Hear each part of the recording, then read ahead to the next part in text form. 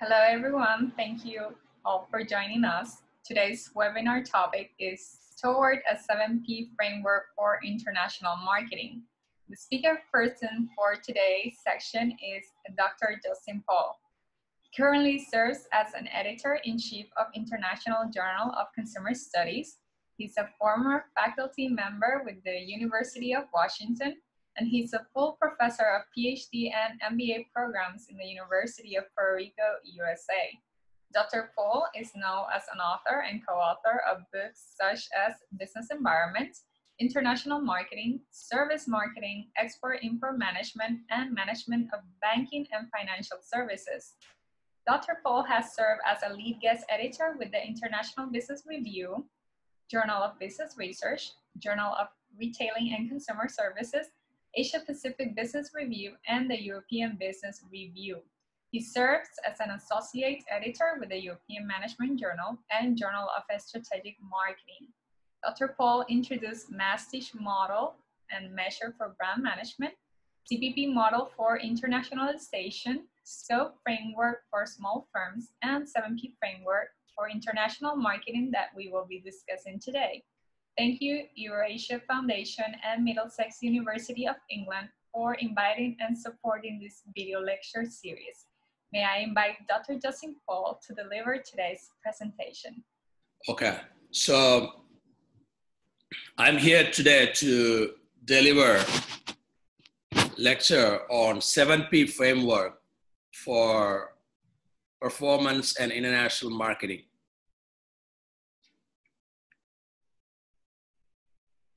Let me try to give you some ideas about uh, survival and success of an organization or survival and success of a company. Globalization has gathered momentum during last 20 years. Everybody knows that globalization uh, has created opportunities and challenges in different ways, different permutations and combinations, and globalization has been considered as an irreversible process. Corona crisis and COVID-19 has uh, created some kind of tension and stress on the process of globalization. On the other hand, multinational companies have been growing by leaps and bounds during last 10 or 20 years small and medium scale enterprises were trying to uh, survive and succeed the way they can uh, or they could possibly try to survive and succeed. Competition has intensified, and competition is going to be much more in the post COVID 19 uh, time period. And given this background, given this context, I've been doing a lot of research on how to develop useful models from the point of view of practitioners as well as academicians. My goal last 10 years has been trying to bridge the gap between academia and the real life company life or the real life industry. I developed a Masstige model for brand management initially. That was my first model. Then I developed CPP model. Then along with uh, Dr. Eric Mas from University of North Texas, I developed this 7P framework for international marketing. And this was published last year. And these 7P constructs are completely different from the traditional 4P or 7P, which are taught in the classrooms for last 20 years or 25 years. So those P's are completely different and these P's are completely different. Those P's are more useful for marketing in a state or marketing in a district or marketing in a city. These P's that I'm going to discuss today will be useful for you, not only for marketing in your country, but also to take your business into or, or to transcend the horizons uh, in, in, in the world of business in different foreign markets as well. So, what motivated me to think about this model or this framework? Or why do we need this framework? Let me explain the reason. Let me explain the rationale. I lived in Japan for three and a half years. I worked in Japan. I was in Japan working for three and a half years. And I learned what I learned, the main lesson I learned from Japan is secret of success, success secret of Japan. Or secrets of, secrets of success of Japanese companies. In case if you have one, if you were, you know, if, if you know Sachin Tendulkar, the cricket star, he comes in television commercials and he comes, boost is secret of my energy. Boost is secret of my success.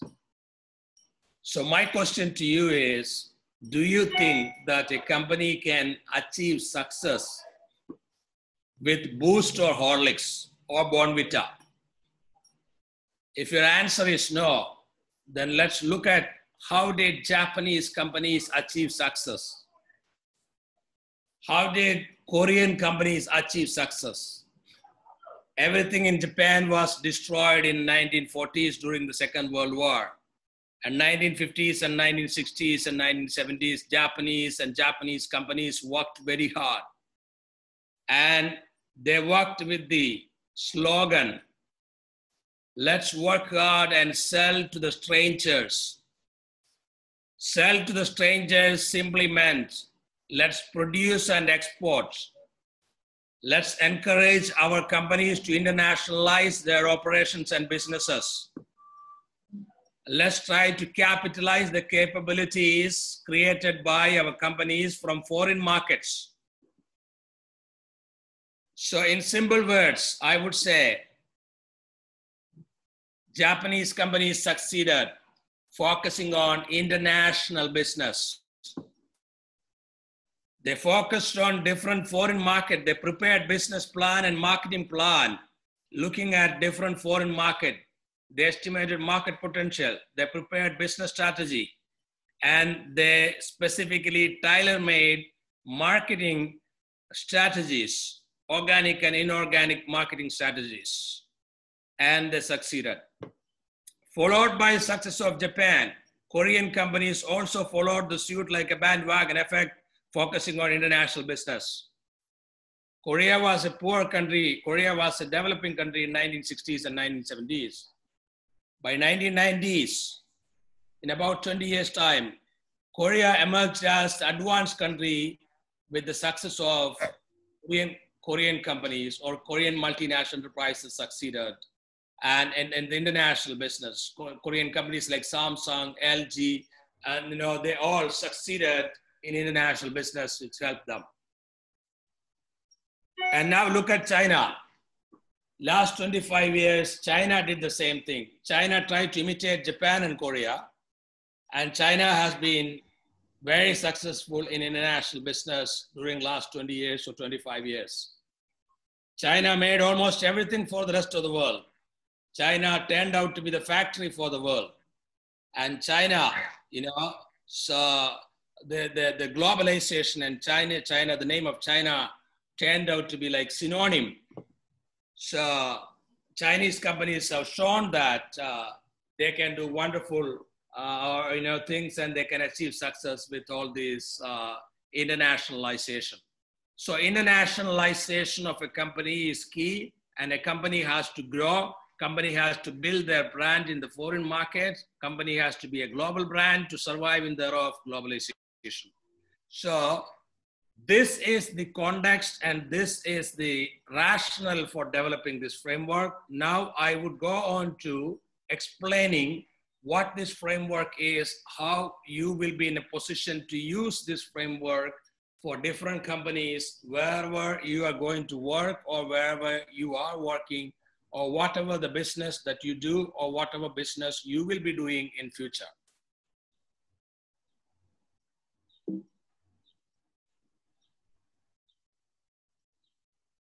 Okay. The basic notion is, I put it here in inverted comma. A, a company, a firm increases its likelihood of survival when it goes international. Sometimes companies will face loss in their own country. So they need to diversify their businesses. This is important. I'll tell you a couple of examples. Japanese company Suzuki, you know about Suzuki, Suzuki Motor Corporation. Suzuki is not successful in Japan. But Suzuki internationalized its operation to countries like India and Africa. Suzuki is very successful in India. For example, Maruti Suzuki is manufactured as a joint venture between Maruti of India and Suzuki of Japan. And they made tremendous amount of profit from Indian market. And I can tell you a lot of other examples as well. American company General Motors, GM. GM is a car company from America. General Motors went bankrupt in America, GM's home country, in the year 2008, 2009. Look at GM was a very famous multinational company, still a company, still a multinational company. But GM announced bankruptcy.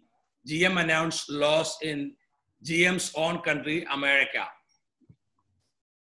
On the other hand, GM made huge profits from GM China business. GM established joint venture for car making in China. GM and Shanghai Automotive Industry Corporation, they were doing business together in China. And GM China business turned out to be a jewel in GM crowd. In other words, I can say while GM went bankrupt in US, in America, in GM's own country, GM is an American company. GM made profit from China, but at the same time, GM announced bankruptcy in, in GM's own country, US.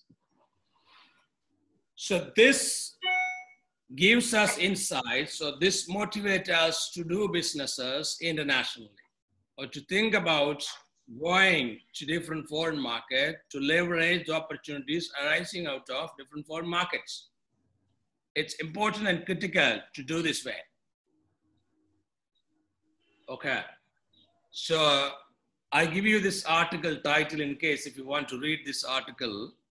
So its article is titled as Toward a 7P Framework for International Marketing. It's available in Journal of Strategic Marketing. It was published last year.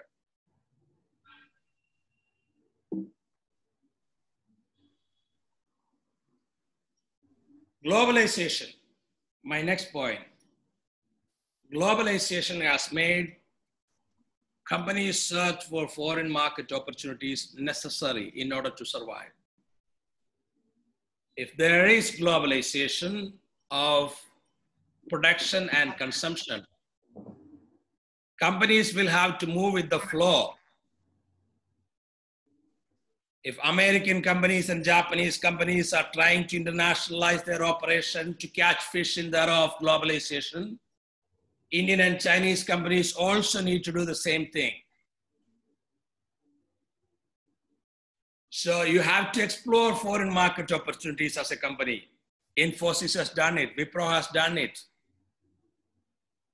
Microsoft has done it, Amazon has done it, Google has done it. Apple has done it. Uber has internationalized operations from America to different countries, including India.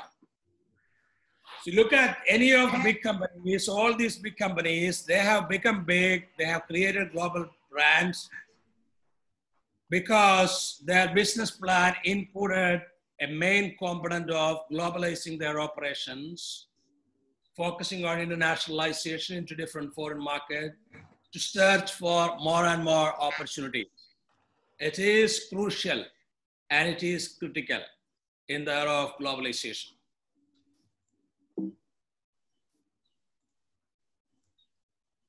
As you know, there has been rapid increase in international transactions taking place in the recent years.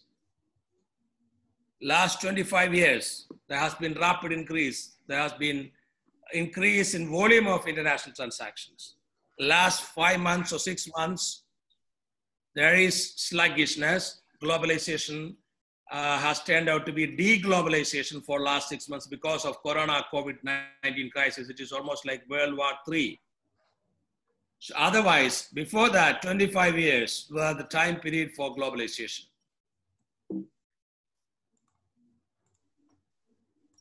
Companies have had to rethink their global strategies these days with the Corona COVID crisis. Companies will have to rethink their strategies, at least for next two years.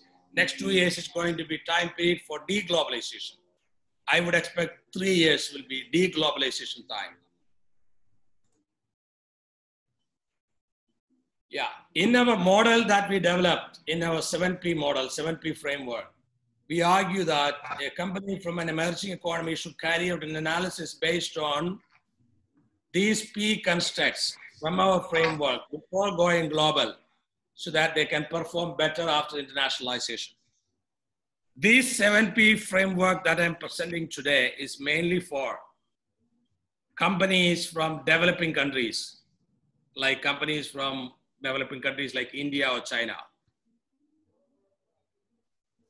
And we call for companies to use this 7P framework, these 7P constructs, before going global, before internationalizing their operations, because if they use this 7P framework, they can perform better after internationalization. The goal, objective here or the main purpose of introducing this 7P framework is motivate, is to motivate companies to perform better. Okay. Yeah, what are these 7P constructs in this framework?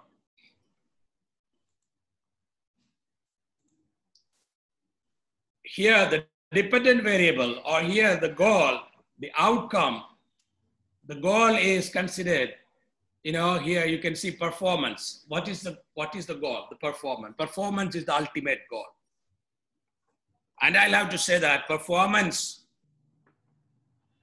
in foreign markets when we talk about seven maybe आपको आगे details hmm? हाँ आप कर रहे हो yeah हाँ हाँ performance is our goal and performance in foreign markets. Performance can be measured in terms of total sales revenue.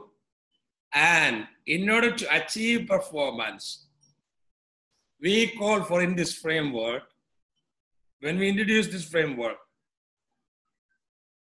myself and Dr. Eric Mas, we discussed and deliberated and debated on how to how to present this or how to be how to how to uh, articulate the ideas and put it together in a useful and effective way. So here the equation is performance is a function of potential path, process, pace, pattern, and problems. So performance is equal to other piece. Performance is the last piece, seventh P.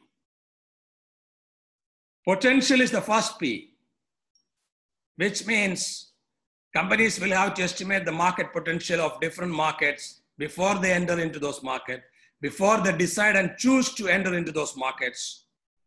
Companies will have to look at and analyze the path, the growth path of these companies on their way to succeed. For example, they have to, they have to look at sources of funds, they have to look at what strategies they should follow. For example, entry strategies. Should these companies follow strategic alliances or should these companies follow equity joint venture? Should these companies follow acquisition strategy or should they follow their own branch expansion instead of acquisition? That is branch expansion, opening their own branches is an example for organic growth strategy. So such kind of path, what kind of path with reference to strategy they should follow. So including how do they generate sources of funds. All these are part of path and processes. Processes that they should follow while internationalizing or while trying to expand their business, while trying to go global, while trying to grow global. going global and growing global is considered as a most important function for a company in the era of globalization to survive and succeed and to create a global brand. So different, they, they can follow, these companies can follow different processes to undertake these global operations. They can focus on digital marketing, they can focus on traditional marketing, they can focus on a lot of partnership with uh, successful companies for distribution, dealership, and so on. So whatever the processes that they have to undertake, different processes, they have to they have to discuss and deliberate and include this as part of business plan. So this 7P framework, what we are presenting, what I am discussing today, should be or can be used as part of your business plan, as part of your marketing plan. For example, you can prepare an international business plan using this 7P framework. You know, you can prepare an international business plan or international marketing plan using the 7P framework in your MBA classroom or your bachelor degree classroom uh, for different companies.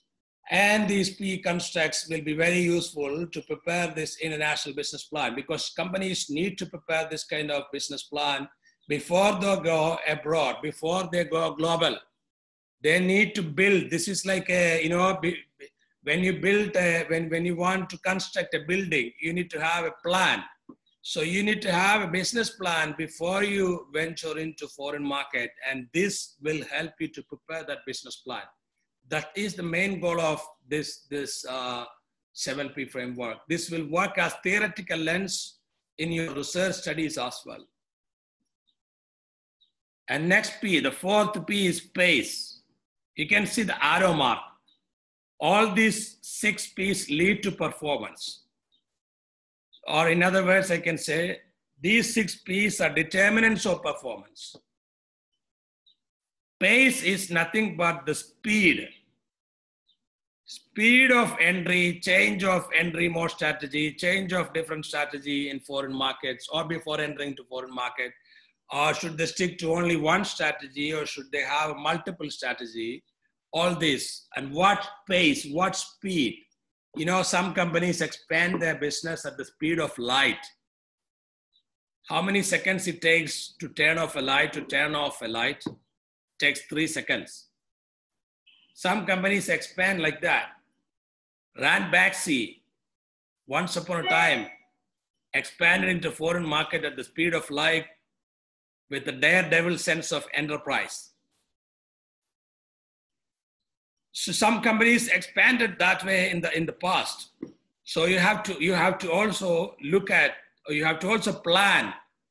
You have to also estimate or you have to also decide the pace of your expansion very well in advance. If you think you don't need planning to decide your pace, you might fail. You need, you need to focus on certain things and you need to build upon certain things and you need to decide the pace of your operations in advance as part of your business plan. And pattern, pattern is the next P, fifth P. Pattern includes product portfolio, product diversification, product differentiation, and so on. For example, if you try to sell, if you try to focus only on one market or two markets, you have more risk. But if you have diversified market destinations, your risk is minimum. So in business, your goal is to minimize your risk. In order to minimize your risk, it is better, and it's always better to have a diversified pattern into several foreign market destinations so that you know if you don't get business from this market you get business from some other markets. Market a may be having fever you get market b you can catch fish from market b. Pattern also includes product diversification product portfolio product differentiation and so on for example, Apple, Apple iPhone, is available in different models. They would say iPhone 6s, iPhone 7, iPhone SE, iPhone XC, iPhone XL, all these kind of things. This is a product differentiation because they can attract different type of customers. They can attract budget customers. They can attract luxury customers. They can attract all type of customers. Louis Vuitton, Louis Vuitton or Louis Vuitton bags are available in at least 10 different names, 10 different fashion. So this is also because they would like to attract different types of customers. So this is part of pattern strategy and problems. So a pattern also should be part of your business plan. Ultimately, all these are part of your business plan. That's what we would like to visualize. Problems. You have to expect, you have to anticipate problems in business. Problems are to be anticipated as part and parcel of your business. Problems are part of your life as well, or my life, or your life, any, any individual's life. Everybody faces some kind of problems and challenges in daily life. Businesses also face challenges. Some are anticipated, expected, some are unexpected problems. So when you prepare business plan, you have to account, you have to include problems and you have to anticipate, you have to discuss and deliberate and debate what are the likely problems this company or my company will face in, in future. First two years or first year, this is a likely problem. First two years, this is a likely problem. First five years, these are the likely problem. And you, your business plan should consist of the strategies to overcome these problems as well. And if you have a proper scientific structured business plan based on this 6P framework, first six Ps, that will help you to achieve greater performance, better performance, optimum performance, and you can reduce your cost and you can increase your profit and result is your superior performance compared to your competitors. This is the 7P framework and I have, I have propositions and I have more details about uh, different P's in my next set of slides. For example, I explain here potential. What is potential? Potential is my first P in, in my previous slide. Potential is nothing but opportunities and activities in the host market that create a favorable or unfavorable position for incoming firms. Yeah, so you, you have to look at, you can analyze and estimate the opportunities and activities in a foreign market or in a host market. If you want to enter into that market, then you have to do this estimation. It's important. I do have some more set of slides. So before I go on to my remaining slides, I would like to take a break and give you an opportunity for five minutes to ask a couple of questions so that I can answer those questions and I can uh, come back to these slides after that. Okay, so anybody who has a question, you can uh, just raise your hand and uh, we can allow you for a question. We'll unmute you.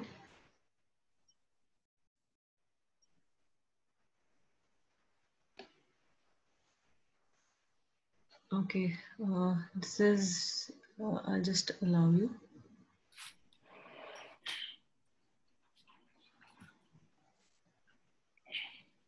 Okay.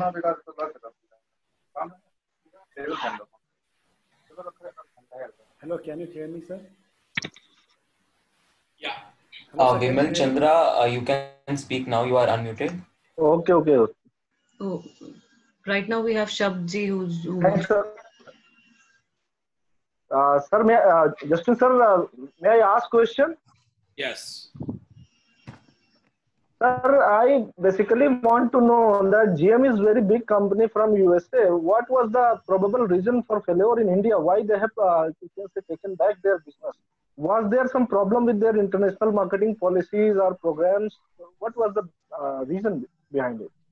Because they are doing very well in other countries, but uh, they could not survive in India being a big, very big company.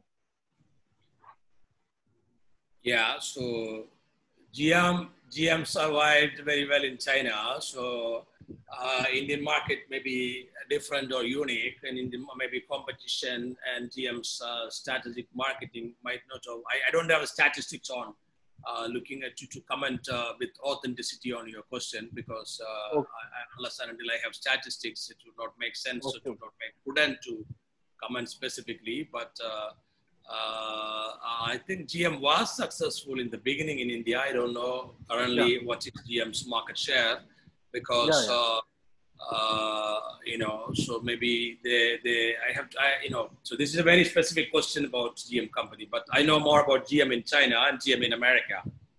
Okay. In America, GM went bankrupt because uh, people, people in America, car market in America is a saturated market. Not only that, Japanese companies achieved tremendous market share in, in America. Toyota is the leading car company in America. So Toyota and Honda captured significant market share in America, and GM lost uh, its uh, share to Japanese companies, even in GM's own country in America. Okay. Okay. Okay. Thanks a lot, sir, for your uh, information, your answer, sir. Okay, we have uh, Mr. Shabd who would want to ask a question. Okay, sir. Uh, your first P, potential, is giving about market analysis, and your last P, sorry, sixth P, problem, is giving about challenges. So is it the almost same as SWOT analysis when you're connecting these two? No, SWOT analysis is very broad. This is very specific. That's the difference. SWOT analysis uh, includes uh, economy, politics, and everything. So this is this, this is very specific and precise. This is like a capsule. SWOT analysis is uh, you know it's a very it's it's a complete it's it's very very broad. Oh. Okay, sir. Thank you. Okay. Any more questions? If anybody has, you can just uh, raise your hand in the in the message box. We can just allow you for for uh, for unmuting.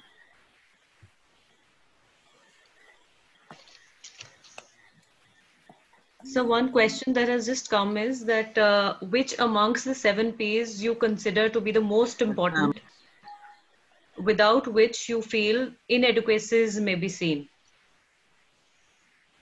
Yeah, I mean, what is more important, or which P construct is more important, is that I, I would, I would say that I would, I would uh, try to, uh, you know, I would try to say that uh, potential and problems are more important.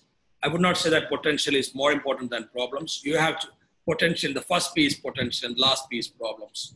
So those two are to be seen with due seriousness while you prepare your business plan. So because you know you have to understand the potential of different market, different countries, or different. Uh, it, it is actually useful for marketing within a country also because you have to estimate uh, market potential in different states if you're trying to plan marketing in different countries. Sorry, in, in, in a country. But if you're uh, if you're trying to do international marketing, you have to estimate or you have to analyze the market potential of different countries. There is a, there is statistics available. You know, if you look at uh, MSU.Global website, globaledge.msu website, there is data on uh, market potential and market size of different countries. So market potential is estimated using population, electricity consumption, and uh, income of people in different countries. Market size is estimated just based on population. So market potential can be estimated and, it, and, and market potential of different countries. Overall market potential is available online on uh, Michigan State University website, globaledge.msu website. So companies can use that or even, even in classroom, students can uh, use that data to estimate market potential if they want to prepare a specific business plan. So, and, and uh, problems, my last P that I was talking about is also important because uh, as I said earlier, you have to anticipate, you have to expect problems and what kind of problems uh, you know will be there in your business. You need to anticipate and you need to discuss that beforehand. If you discuss that beforehand, you can overcome. You can also prepare plan to overcome those problems. If you don't understand those beforehand, you know, so then then uh, suddenly you face problems. You will have challenges. You know, we all face this COVID nineteen as unanticipated, unexpected problem. So uh, then it, it, turned out to be a stressful activity. It turned out to be completely problematic. So you have you have to plan this. I mean, expected and unexpected problems should be accounted as part of business plan. So traditional business plan that you have taught or that you have studied or that is there in the textbook doesn't have this problem components.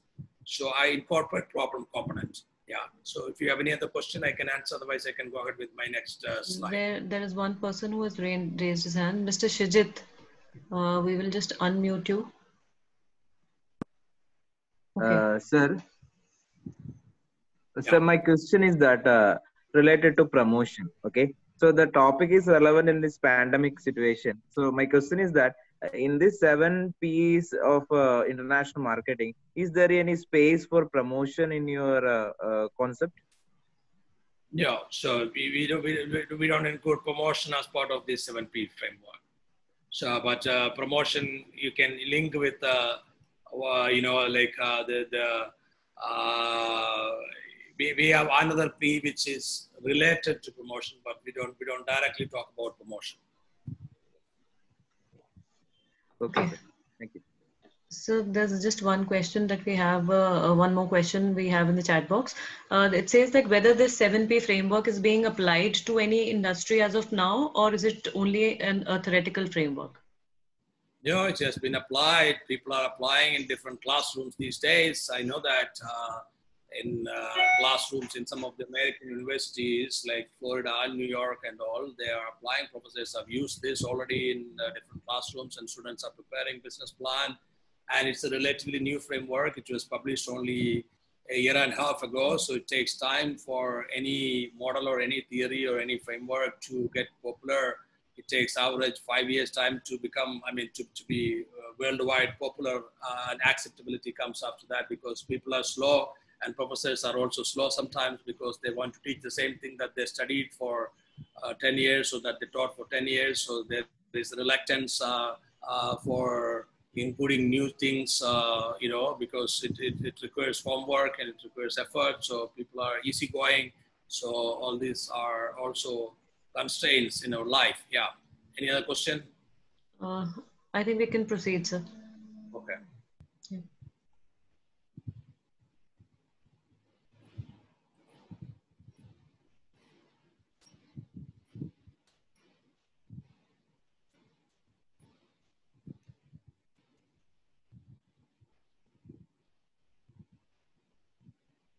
Okay. I talked about uh, potential. Yeah. So you have to identify potential in different market. Like uh, let's say you represent an Indian company. You want to undertake internationalization. You will you will estimate or you will understand, analyze the potential of Sri Lanka, England, Germany, USA, Japan, and so on. USA is a big market. USA has 300 million people. Average income is 45, 46,000 dollars. So you have to look at then Sri Lanka, how many people? You know, you have to look at that way, and how much is the average income. And likewise, you have to look at Germany, 80 million people, average income, almost $50,000. So more than $50,000. So likewise, uh, you have to estimate uh, market potential and then you have to also take into account political and economic uh, dimensions in those specific markets. You can also compare with less developed countries. Sometimes competition in those highly sought after markets are very high competition.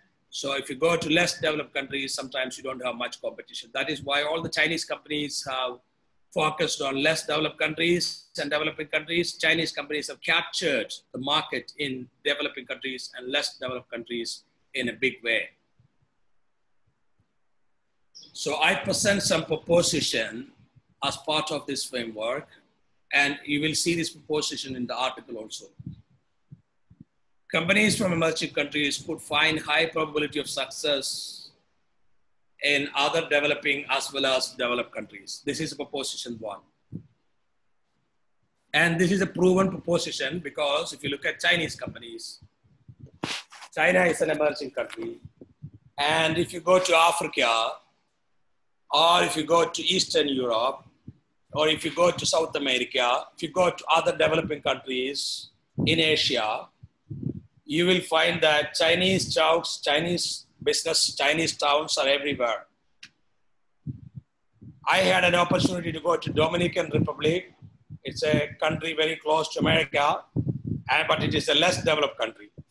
There is a very big Chinese town in Dominican Republic. Dominican Republic is very, very far from China, but China has succeeded even in Dominican Republic. I went to Africa once. I was traveling to Africa as a trainer for African diplomats, like IAS officers in Africa. I was a trainer. And this program was held in Rwanda, Africa. And my flight was full of Chinese looking people. I was sitting in the airplane and I, I was surprised why all the people, all the fellow passengers are Chinese looking. What is the reason? I was thinking. It's simply because all the Chinese companies are sending Chinese people to undertake business activities in African countries. China has focused on African countries for last 10 or 20 years. And even African countries are part of their Belt Road Initiative. So proposition, a general proposition based on this business scenario, this business activities that I have learned based on my own real life observation, as well as based on the experience of several other companies. Proposition one, companies from emerging countries could find high probability of success in other developing as well as less developed countries. And it is easier to succeed in those type of countries because competition is not much in those countries.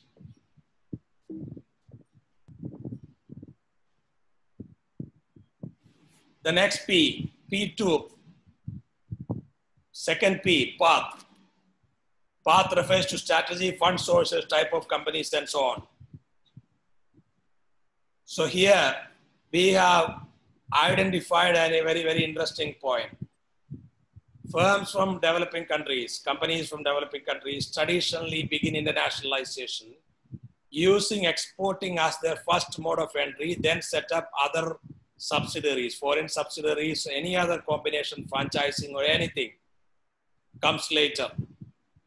But exporting is their first mode of entry.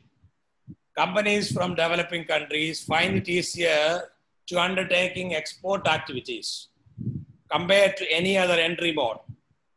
FDI is very difficult, so exporting is very easy. Proposition two relate, this is relating to path. Firms from emerging countries need to formulate specific strategies to expand into developing developed countries.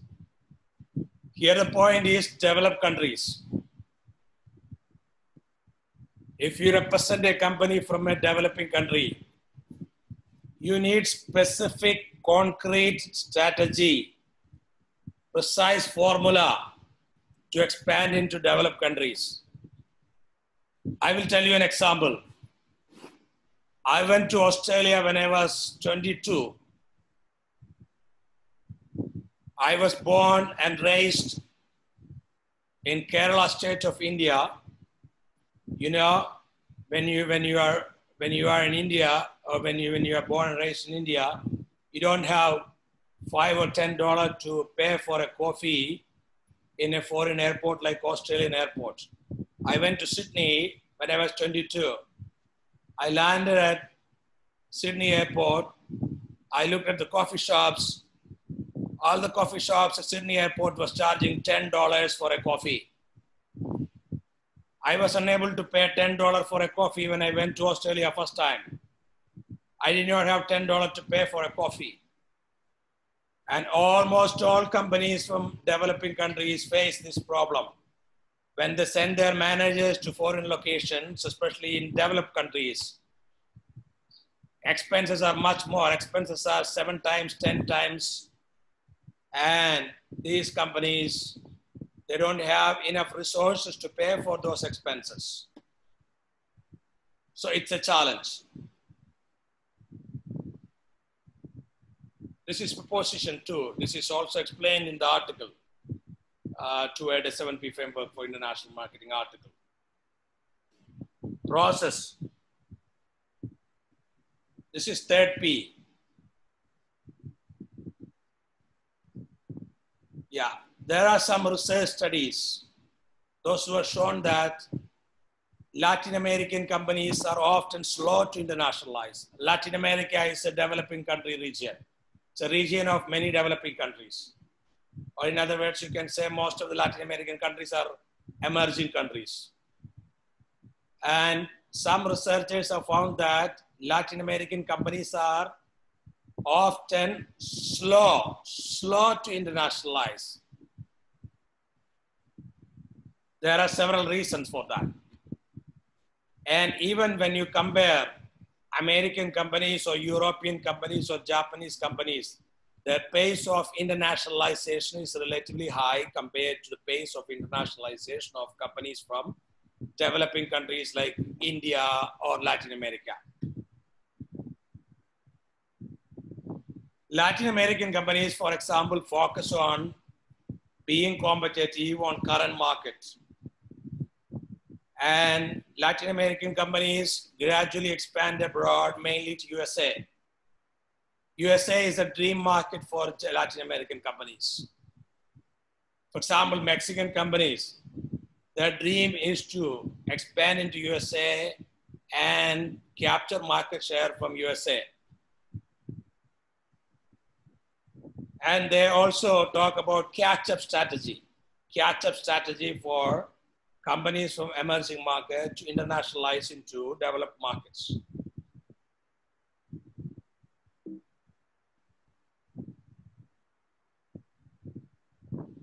Firms from developing countries in general do not have the propensity to be born global as they are primarily regional.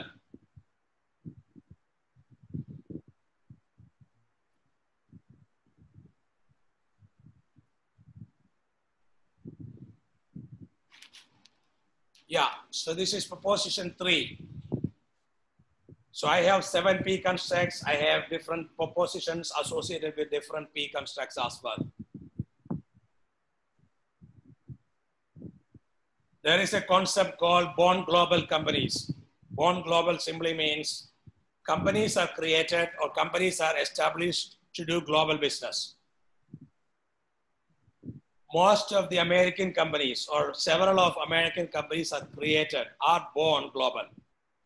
For example, Apple is a born global company. Uber is a born global company. Microsoft is a born global company. They are created to do global business. Google is a born global company. However, they are all American companies. However,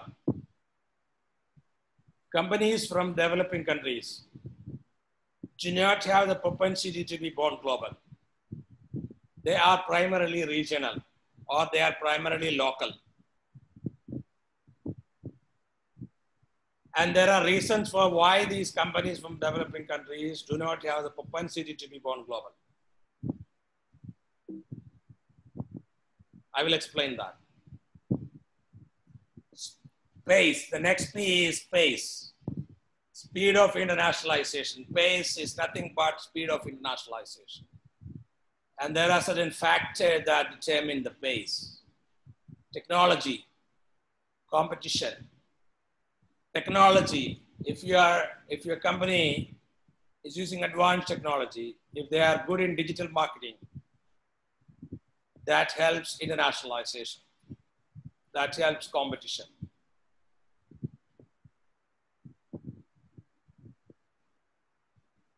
And uh,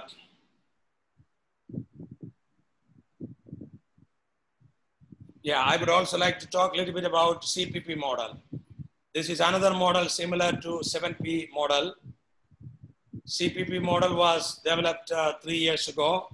CPP model stands for conservative, predictable, and pacemaker companies and pacemaker markets. CPP model is also for internationalization of companies. This was published as an article in Canadian Journal of Administrative Sciences. C stands for conservative companies. We call companies those who do business only in local market. Companies that generate their revenue only from one country, we call them as conservative companies. And second type of companies, predictable type of companies. These companies, they generate substantial amount of revenue from regional markets. For example, a French company is generating substantial revenue from other European countries. That means we call them as predictable companies or predictable market, predictable firms. Because European market is operating like a single country, single predictable market. European Union is a predictable market. Likewise, ASEAN is a predictable market. NAFTA is a predictable market.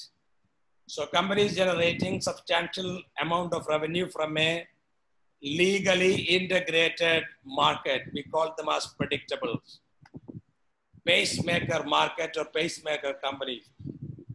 Companies generating substantial percentage of revenue from global markets. We call them as pacemaker companies and pacemaker markets.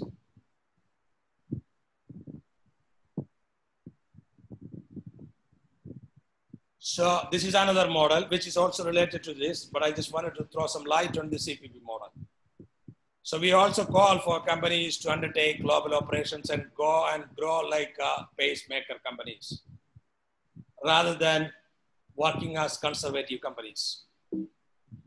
Because if you operate only in local market, you simply uh, ignore the opportunities arising out of globalization. Proposing proposition four. Firms from developing countries use exporting as an entry mode to begin the process of internationalization and use more than one entry mode or switch entry modes over the years.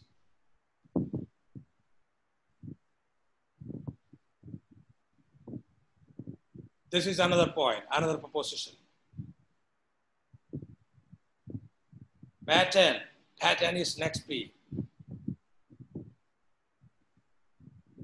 Pattern relate to what and where. What product or service is sold, where it is sold. Are they sold in multiple markets rather than single markets? And also product diversification, product portfolio. Food, beverages, raw materials, and agriculture. This is important and services. I mean, you know, for example, if you have a company specializing in food marketing or food manufacturing, you can also diversify into beverages. So this is the idea. For example, if you're selling gold, you can also sell diamond. That's the idea.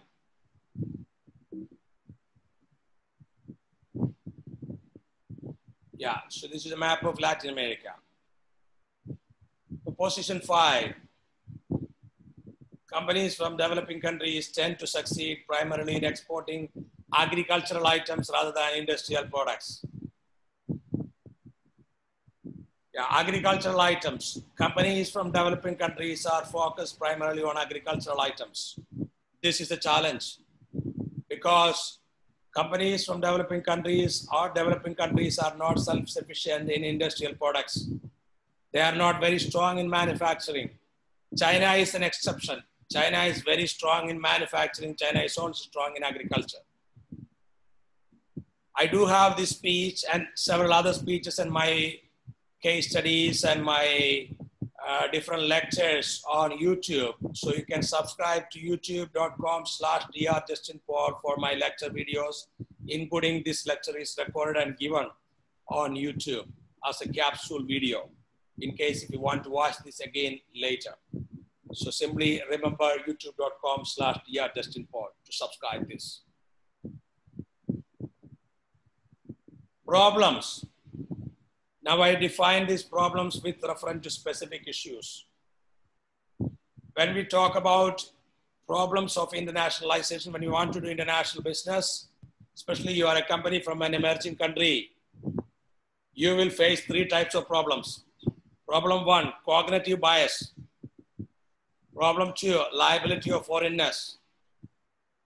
Problem three, resource limitations. Problem one, cognitive bias.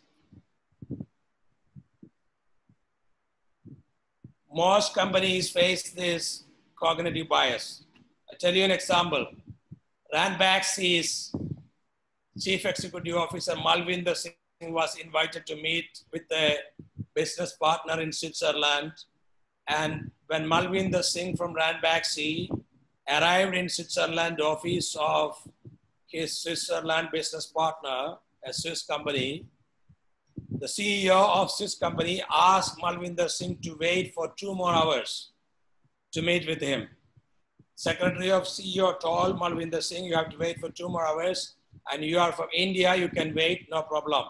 My CEO is very busy. This is part of cognitive bias. This is a perception. Cognitive bias refers to perception of product quality based on producing a company's country of origin. Yeah, sometimes people in developed countries, they have a perception. When I was teaching at uh, University of Washington, one of my students, a girl, she told me, India has snakes. India is full of snakes. That is her perception about India. It's a country with a lot of snakes, you know. I don't know whether India has a lot of snakes, but this is a perception.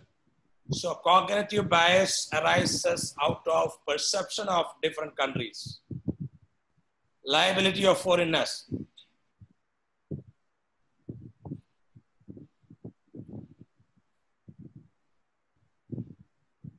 Cause of lack of knowledge and experience in the host country.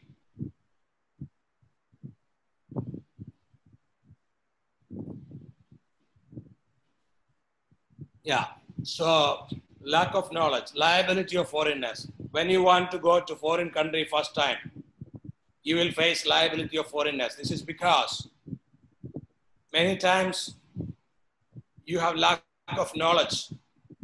You don't understand what they talk about. Suppose an Indian coming to America, Americans talk in terms of pounds and miles. Americans talk in terms of gallon for gasoline. They don't talk in terms of liter. And they pronounce often as often. There are differences. Globalization is spelled with Z. Z is pronounced as Z in America. In India, it is pronounced as Z, the alphabet, but it is Z in America, the last letter of A to Z or A to Z. So there are those kind of differences. Sometimes you don't understand those kind of connotation. You don't understand proverbs. Okay, so many, many uh, acronyms, many jargons, many buzzwords. You don't understand all those. So this kind of cost of lack of knowledge is also to be to be to be to be foreseen and to be overcome. Sometimes if you go to a language, if you go to a country where language is completely different, it can be also challenged. Resource limitations. This is another problem. Resources. I mean, companies from developing countries, they have this problem. They don't have enough resources, and this can be problems arising out of resources with reference to capital, managerial talent, technology, brand equity, etc. These are all problems. Yeah, so this can be explained in detail, but I don't have time to explain everything now.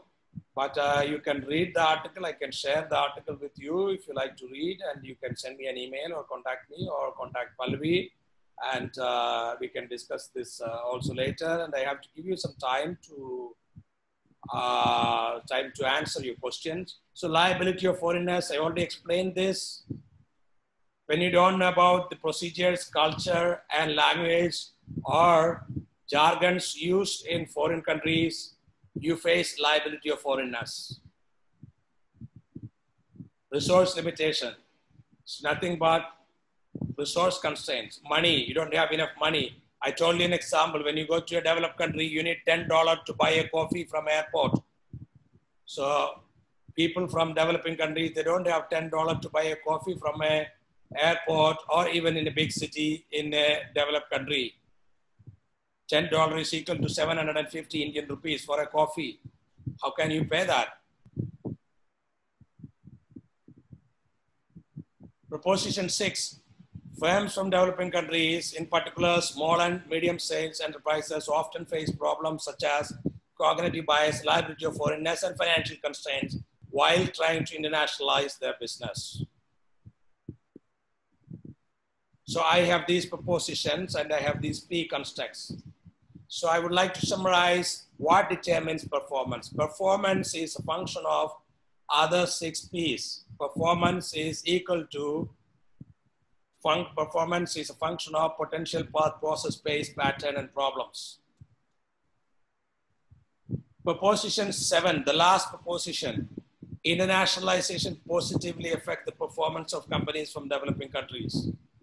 Yes, internationalization undoubtedly positively contribute towards the performance of companies from developing countries because if a company sells their product in a in their own country, if it is a developing country, they can only make five dollars. The same product they can sell in a developed country for twenty-five dollars. So they are the beneficiaries. So they have to internationalize. They have to sell in developed countries. It's important and it is critical and it is crucial for their success. I do have updates. I update very important business updates, very important professional updates and news, some videos, some useful stuff on my Twitter account. I've been uh, you know, using only for last two months, but I've become active on Twitter. You can follow me on Twitter also with twitter.com slash dr Justin Paul, my YouTube and Twitter and Skype, everything is dr Justin Paul, website, everything is dr Justin Paul. So, uh, yeah, so now I would prefer to give you time to ask you a question. So the, yeah, so I, I summarize my contact details here, YouTube, Twitter, email, and website. So you can, you can take this and uh, uh, stay in touch. And, and uh, now it is also time for you to ask your questions. So anybody who has any question, you can once again raise your hands and uh, we can again invite you and we'll unmute you.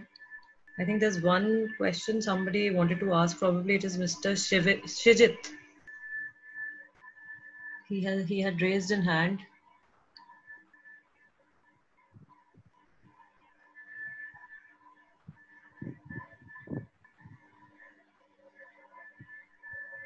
Okay we will just allow you.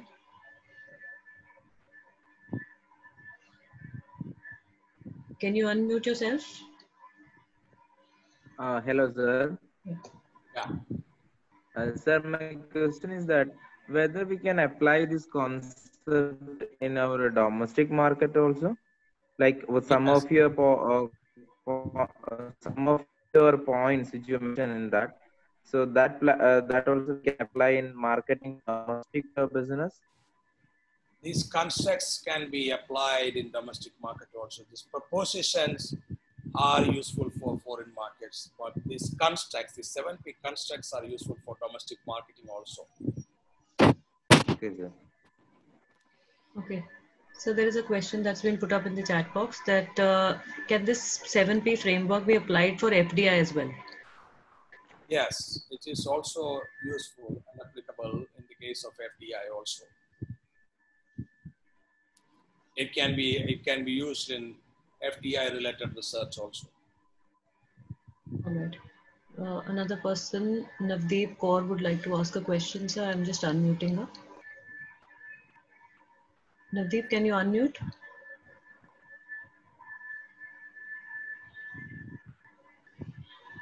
Yeah. Uh, good evening, sir. I am uh, Dr. Navdeep from Department of Law, Jammu University. Though I'm not from uh, the stream, but um, having an interest in company law and having read one book, uh, which is uh, titled "Bottle of Lies" by Katherine, that's pertaining to Ranbaxy. You discussed about the cognitive bias that you're the CEO of Ranbaxy was not allowed for a period of you know two hours, and he was made to wait there what do you have to say regarding uh, these uh, generic companies where you know uh, these people they also come to the, the people from their countries. They visit uh, the companies in order to see how the manufacturing is going on. So this this and what they found was uh, that uh, Ranbaxy was not working as per the norms based upon which this book was written.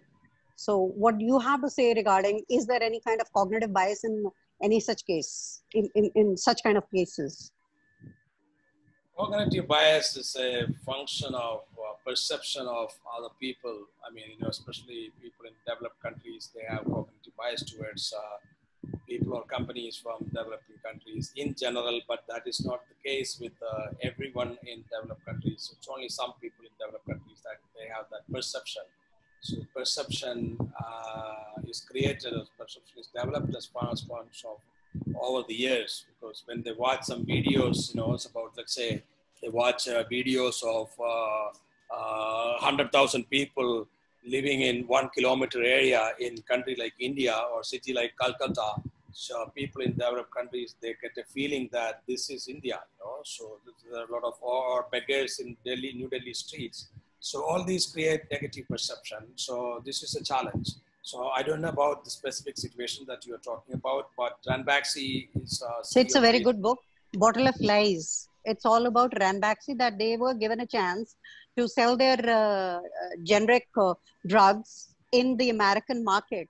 And later on, it was found, uh, as has been projected in that book. I do not know uh, what is the truth actually. So, uh, what was projected and what has been written in that book, that is, they misused that opportunity and they were selling the products which were not up to mark and they were not uh, having any kind of they were not showing any kind of efficacy as such. So i think on that point uh, if we if we uh, think on those lines i don't find that kind of uh, you know bias should occur for a company having a reputation. Surely the generic companies uh, you cannot compare them with the internationally renowned companies yeah, but like uh, Ranbaxy faced some challenges in America. At the same time, Ranbaxy has also succeeded in selling generic drugs in American pharmaceutical. For example, Walgreens. Walgreens is one of the famous pharmacy in America, and Walgreens sells uh, Ranbaxy's generic drug. Okay, thank you so much. Okay.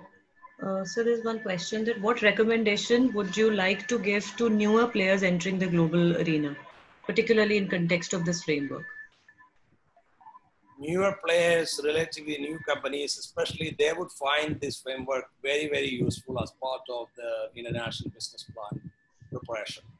Especially medium scale companies or small scale companies, they need this kind of framework to prepare their international business plan. Even Ranbaxy, if I look, if you read my book on international business, there's a case study of Ranbaxy. And in that case study, I have discussed about how Ranbaxy prepared their business plan originally focusing on international business. Ranbaxy had to prepare a very strong international business plan in the beginning itself to succeed globally. And Ranbaxy did it and they succeeded. So likewise, when Ranbaxy was a small company. So likewise, if you have a small company, it is possible. If you have vision and mission, and if you use these three framework, I'm sure companies can uh, prepare their business plan uh, and, and, and then they can succeed. They need to prepare business plan scientifically and in a structured way, and they can succeed. They need this kind of business plan. If you are already a multinational company, you don't need this framework. Okay. So one uh, last question probably. Uh, do you think that this uh, COVID-19 has any impact on this framework? Or particularly any kind of an unprecedented situation like this kind of a pandemic would have any bearing upon this um, uh, framework? Definitely, because I would say that the importance of this framework is much more in the context of COVID-19 because uh, problems is one of the important key constructs in this framework.